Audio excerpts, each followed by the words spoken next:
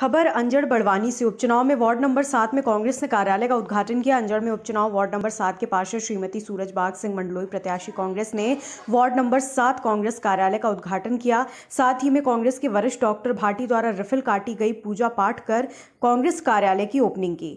Ward सात में जनसंपर्क भी किया, जिसमें सभी कार्यकर्ता मौजूद रहे। विधायक प्रतिनिधि शेखर पाटनी, मंडल अध्यक्ष सुनील पाटीदार, उपाध्यक्ष रणछोड़ जिराती, किसान नेता पुरसू भाई पाटीदार, पार्षद कार्तिकेय चौहान, देवेंद्र पाटीदार, मोहसिन मंसूरी, रितेश थानागर, विजय सनोटिया साधुराम वर्मा आदि कार्यकर्ता मौजूद रहे।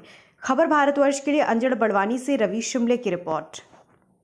अपने शहर, अपने प्रदेश की ताज़ा खबरों के लिए लाइक करें, शेयर करें, सब्सक्राइब करें। और हाँ बेल आइकन दबाना ना भूलें, क्योंकि खबर हमारी फैसला जनतंत्र का।